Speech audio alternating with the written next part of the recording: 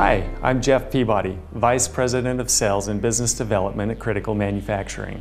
Ultimately, management takes the credit or blame for the results of the factory operations. They need to make important decisions based on performance before problems get out of hand.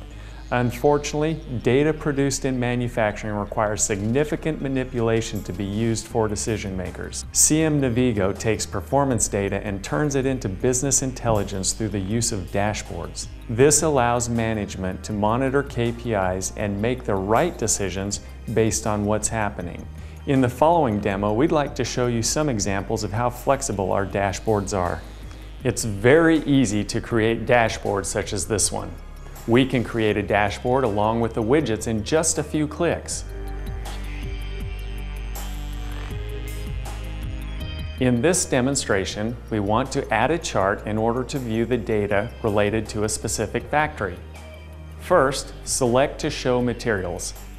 Then select a factory grouped by respective areas. Now we can select the materials related to the areas. You can add different series for material counts and quantities, for example, to the chart. Now we will add an equipment list which we want to monitor. You can see the information related to the equipment and to make it look even nicer, you can add your own pictures to the respective tools. Finally, you can add a query for materials that I just created and display it neatly along with the other widgets.